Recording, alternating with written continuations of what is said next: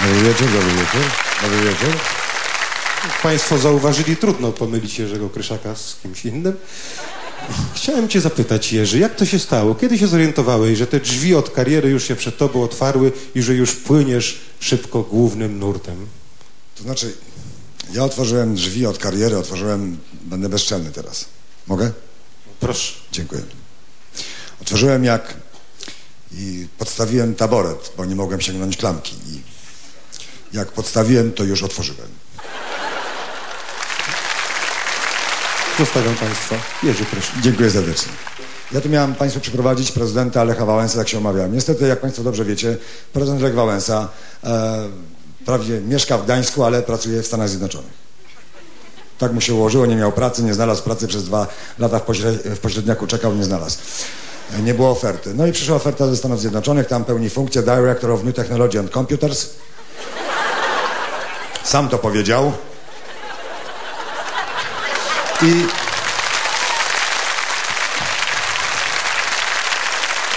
No i w związku z tym lata co najmniej dwa razy w miesiącu. Potem e, pracuję nad scenariuszem programu wędkarskiego, prawda? Pod roboczym tytułem Jak umoczyć robaka, żeby go nie zamoczyć. I w związku z tym jest człowiekiem bardzo za- zajętym i nie mógł się tutaj dzisiaj stawić. Dlatego ja tylko powołam się na kilka zdań, e, które wypowiedział e, prezydent Wałęsa. Jakiś, mówię, przedwczoraj, może, no jeszcze, jeszcze, jeszcze przedwczoraj, bo wczoraj nie, nie słyszałem, żeby coś szczelił. Ciekawego. Ale widzicie, chcę... Aha, moment. Momencik, momencik, ludzie, nie, nie, nie, nie pośpieszajcie, nie pośpieszajcie. Jak się skupię, to powiem. Chcę, e, bo ja pracuję, jak dobrze wiecie, bo tutaj ktoś zauważył, że latam do Stanów Zjednoczonych. Pracuję rzeczywiście w firmie e, tak zwanej komputerowej, e, kom, e, kom, pełnię funkcję kierowniczą się zdecydowałem na to od, e, od momentu, kiedy mi dali w prezencie e, do samolotu do Japonii. Leciałem 12 godzin, dali mi e, e, to blapa, laptopa. E, I wiecie, przez 12 godzin zauważyłem, że nie udało mi się tego zepsuć. Coś w tych komputerach jest. Akurat oczywiście te komputery się nie sprawdziły. Chcę powiedzieć, nie sprawdziły się e, tu przy liczeniu głosów, bo 11 dni na palcach liczyli ludzie głos. No. Ja mówię, komputery przecież, a potem, a kiedyś mówili, że Tadeusz Mazowiecki był wolnym premierem. On był dwa razy szybszy od tych komputerów, ludzie. Muszę powiedzieć, że e, byłem zaskoczony, bo, e, bo, bo patrzcie, e, 20 milionów wydali na system, a tu się okazuje, że Procom Tennis Sopot Open, a system Closet. Ciekawa rzecz. Natomiast jak, jak ja jestem, mylę pań, e, jak ja jestem w Ameryce, to ja nie myślę, że ja tam lecę tam po te parę dolarów. Oczywiście też się przydadzą, bo i Danka wyciąga i dzieciary potrzebują. Natomiast jak ja jestem już, mile Państwa, w, w Ameryce, no też tam mam wykłady się, w zeszłym miesiącu się włożyłem pięć razy.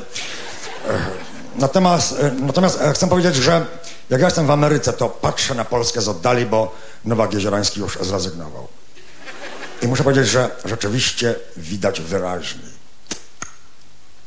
Jak ja stamtąd patrzę na Polskę, ludzie, jak ja zobaczyłem cztery miesiące, trzy miesiące temu polskiego prezydenta, tego, tego, ten, ten taki szczupły.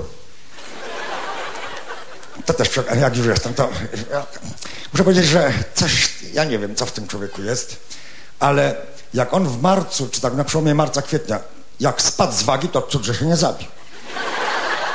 I ja mówię, tak najlepiej to on tak wyglądał jeszcze podczas wizyty papieskiej. To naprawdę uważam, że to było dokładnie to. Ja mówię, on może mi się nie podobać e, politycznie, ale uważam, że akurat waga była trafiona. Naprawdę i oko wyszło, i wszystko, i buźka, i cerka, i tak. Natomiast ja tak patrzę, jak teraz był niedawno pod kopcem. To już tak jakby troszeczkę taki podkopcony, czy coś tak. Cera szerzała. Ja mówię, czy on nie wpadł w anoreksję. Powiedziałem tutaj o tych e, komputerach. 20 milionów poszło na system, który nie zadziałał. A kołotka chciała pogonić bary mleczne. Ja nie wiem, ci postkomuniści to są dla mnie tacy cholera neofici ludzie. Jeszcze jak już wchodzą do Unii Europejskiej, to już nawet z barów chcieli ruskich wygonić. Ja mówię, daj spokój, przecież są ludzie. Ten łapi, łapiński, ludzie, leki za złotówkę, wiadomo, że to są leki przeterminowane.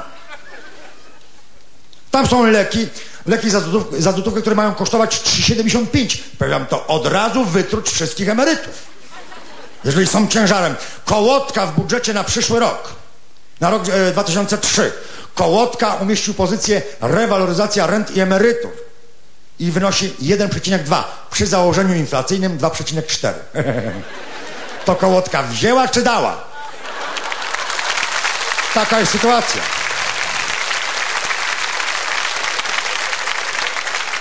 Belka jeszcze zamroziła progi finansowe, czego efekt finansowy będzie oczywiście za rok.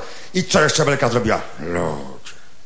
Belka wyciągnęła łapkę po 20% od odsetek od oszczędności. Ja się pytam, jak, kieszon, jak kieszonkowiec? Jak kieszon... Zresztą to zawsze byli kieszonkowcy. Jak ja szłem na rozmowy z lewicą, mówiłem, Danka, zafastryguj mi kieszeni. Bo ja wolałem ze złotówką wejść i ze złotówką wyjść, a nie wejdę ze złotówką, a wyjdę, będę miał 80 groszy. Pójdę sobie kupić kulkę lodów, będę błagał o wafelka, bo się w cenie nie zmieściłem. Ja mówię, komu Belka wzięła... Te, komu Belka wzięła te 20% do odsetek? Komu? A Belka mówi bogatemu. No człowiek. Bogaty trzyma oszczędności w banku, tak? Widzieliście Gudzowatego, jak co tydzień idzie z pieniędzmi? Mu się nie mieszczą, mówi, to chyba zaniosę do banku. Bo mi się pończocha rozdarła. Bogaty trzyma oszczędności banku. Ludzie, bogaty ma bank.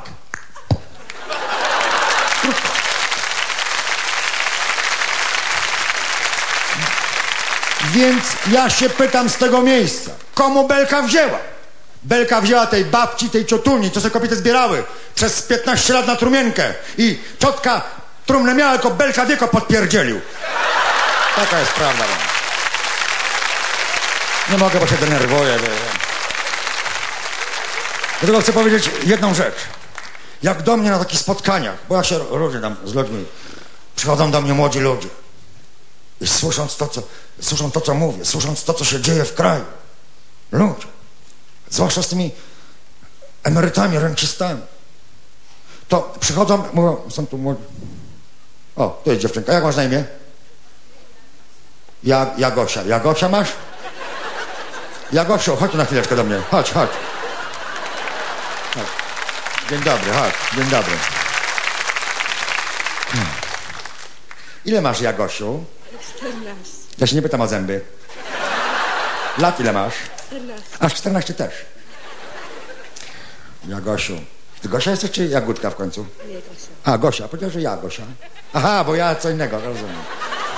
E, Gosiu, słuchaj, e, do mnie przychodzą właśnie takie czternastki, nawet i piętnastki też. A i szesnastki się zdarzały. I są zaniepokojone sytuacją w kraju, rozumiesz? Zwłaszcza babciami, dziadkami, rozumiesz? Tak. Przychodzą mówią, na przykład tak, mówią, panie prezydencie, do mnie, rozumiesz, panie prezydencie, niech mi pan powie, jak żyć, rozumiesz? Więc dlatego, Gosiu, chciałem, żeby to był głos pokolenia tych trzynastek, czternastek, tych ryczących. No tak, tam, wie, pewnie sobie dodałaś, wolę ci ująć. I, I dlatego tu masz mikrofon i powiesz tak, panie prezydencie, niech mi pan powie, jak żyć. Dobra? Uważaj, chodź. Chodź tu, stań, powiedz. Mówisz do mnie, chodź tu. Chodź, mówisz. Mówisz tu, panie prezydencie. Panie Mówisz. prezydencie, Tak jest. a jak było dalej? Poczekaj, jeszcze można...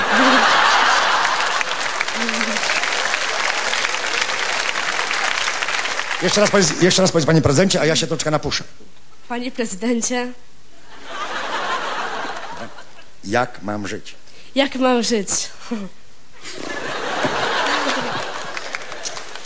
Aha, widzisz. Ile ty masz, mówisz, e, 14, tak? Patrz, a jakie dojrzałe pytania. Ale jakie też trudne, ludzie.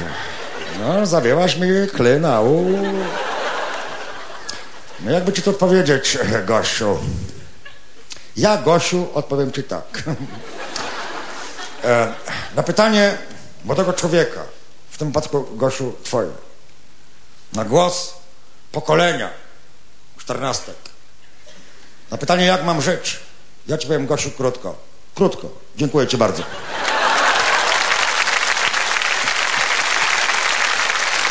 bo,